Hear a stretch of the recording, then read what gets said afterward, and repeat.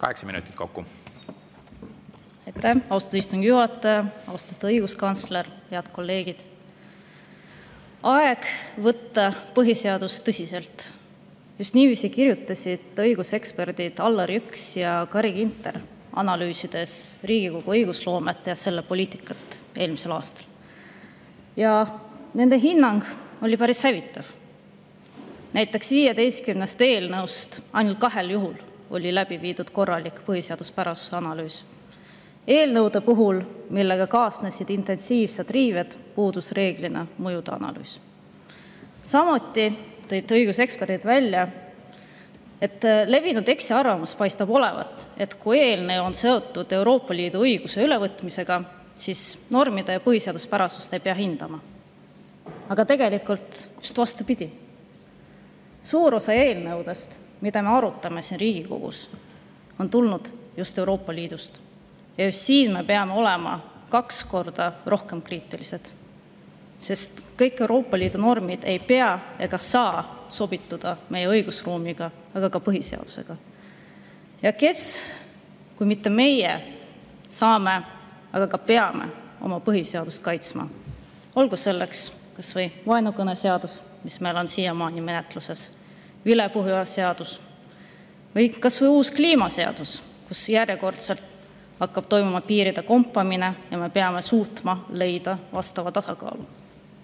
ka meie riigieelarve, mis on üks olulisem dokument, mida me iga aasta hääletame, ka sellele on õiguskantsler ka täna, õiguskantsler juhtis uuesti tähelepanu, et see ei vasta põhiseadusele. me ei võta tulude ja kulude, kulude eelarvet vastu seadusena, vaid seletuskirjana aga seletuskiri ei kohusta mitte millekski. samamoodi kui õiguspärane on see, et täna tegevuspõhise eelarvega me tegelikult ei tea kogu infot. me ei näe, kuhu raha tegelikult ministeeriumides läheb. ja kahjuks, mida on kurb tõdeda, viimase pooleteist aasta jooksul oleme liikumas olukorda, kus eelnõud, mis me vastu võtame, vähe sellest, et nad on sisu poolest, võivad olla vastuolus põhiseadusega, aga on vastuolus ka formaalselt ehk menetluslikult. ja parimaks näiteks siinkohal ongi muidugi automaksuseadus. ma arvan, et paljudel on meeles, kui see eelnõu võeti vastu, president jättis selle välja kuulutamata ja just viitaski sellele, et on vastuolu põhiseadusega. ja too hetk vastuolu seisnes selles, et puuetega inimesed pandi ebavõrdsesse olukorda ja mida tegi valitsus? selle asemel, et tagada maksuvabastus kõigile puuetega inimestele, otsustati, aga me kaotame selle maksuvabastuse sootuks. asemele pakuti minimaalseid toetusi. vähe sellest, et need toetused ei kata automaksust tulenevaid kulusid. puuetega inimesed on oodanud toetusi juba aastaid, aastakümneid muude kulude katteks, nüüd need toetused Nad ei tule selles samas ulatuses, milles oodati. rääkimata sellest, et selline raha ühest taskust teise paigutamine riigi jaoks alati tekitab ebamõistlikult suurt halduskoormust ja kulu. põhiseaduse paragrahv kümme sätestab sotsiaalriigi põhimõtte, mis omakorda tähendab, et avalik võim hoolitseks ühiskonna abivajajate liikmete eest ega jätaks kedagi hätta täpselt samamoodi nagu põhiseaduse paragrahv kakskümmend kaheksa ütleb, et puuetega inimesed on riigi erilise hoole all. arvestades neid otsuseid, arvestades, kuidas neid tehti, kuidas valitsus iga hetk muutis oma seisukohta, siin kõik need konkreetsed vastuolud põhiseadusega tulevad ka ette ja automaks suurendab vaesusriski ühiskonnas, eriti puuetega inimeste puhul. ja see pole ka kõik, nüüd see menetluslik aspekt, see oli sisuline aspekt ja menetluslik aspekt, kus on vastuolu põhiseadusega. kahjuks on saanud tavaks, et kõik muudatusettepanekud seotakse kokku, ka kõik sisulised muudatusettepanekud. kui automaksu eelnõu alles Riigikokku jõudis, Keskerakond tellis õigusliku analüüsi, tõi välja kõik vastuolud, tegi vastavad muudatusettepanekud ja mis siis meile vastati? meile vastati, teie muudatusettepanekud, need ei ole siirad, need ei kuulu arutamisele siis, kui president jättis selle seaduse välja kuulutamata, kusjuures nendel samadel alustel, millele me viitasime, kui see tuli uuesti arutlusele, me tegime uued muudatusettepanekud.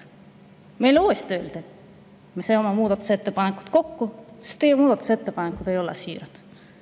ma sooviks küsida, milline siis muudatusettepanek polnud siiras? kas see, et oleks maksuvabastus puuetega inimestele, oleks soodustus äh, lasterikastele peredele või üksi elavatele pensionäridele minimaalse sissetulekuga?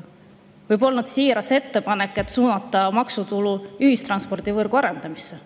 mis on aga kõige olulisem, kõik need muudatusettepanekud, kõik muudatusettepanekud valmisid koostöös vastavate huvirühmadega. huvirühmad, kes kõigile teile siin saatsid need kirjad, kes pöördusid komisjoni poole, kes käisid kohal, kes kaitsesid neid muudatusettepanekuid, kes palusid, et neid hääletataks. Mõned meie muudatusettepanekud olid kusjuures tehtud eh, tulenevalt Riigikogu toetusrühmade ettepanekute alusel. Need ettepanekud, kus olid koalitsioonisaadikute allkirjad, ka need seoti kokku, ka neid ei soovitud arutada. ehk enam ei oma tähtsust, mida meil arvavad erinevad huvirühmad, mis ettepanekuid teevad Riigikogu toetusrühmad. ehk teisisõnu, rahva häält, erinevate ühiskonnagruppide häält ei ole enam võimalik siin saalis esindada ja kaitsta. ja see on see kõige suurem vastuolu põhiseadusega. Riigikogu täna ei täida enam oma rolli. põhiseadus sätestab, kõrgema riigivõimu kandja on rahvas ja kõrgemat riigivõimu teostab rahvas põhiseaduse paragrahvi viiekümne kohaselt Riigikogu valimistega. ja siit tulenevalt üks väga oluline lause, mis on kommenteeritud väljaandes kirjas. Riigikogu liige, kõik meie siin täna ei esinda üksnes oma valijate või valimisringkonna huve, vaid me teostame riigivõimu kogu rahva esindajana.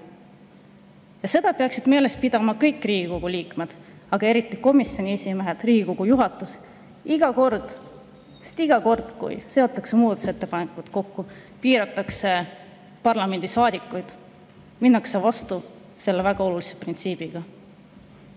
Ja sellega, kui piiratakse Riigikogu liikmeid, see ei tähenda, et piiratakse mõnda saadikut vaid sellega piiratakse ka vastavate ühiskonnaliikmete, keda antud saadikud esindavad, võimalust osaleda ja kaasa rääkida poliitilistes protsessides. ja täna need inimesed tunnevad, et nad on jäänud hääleta ja kaitseta siin Riigikogus. ja seetõttu mul on üleskutse kõigile Riigikogu liikmetele: hakkame uuesti austama põhiseadust. Kunagi pandi kõik need olulised mõtted põhiseadusesse kirja, need mõtted on kõik siiamaani väga aktuaalsed. sest see on meie roll ja kohustus seadusandjana olla põhiseaduse valvur, otsida tasakaalu ja mis kõige olulisem, teenida Eesti rahva huve. meie vigu ei peaks iga kord parandama õiguskantsler, president ja Riigikohus. me ise ei tohi neid vigu endale lubada. aitäh! aitäh!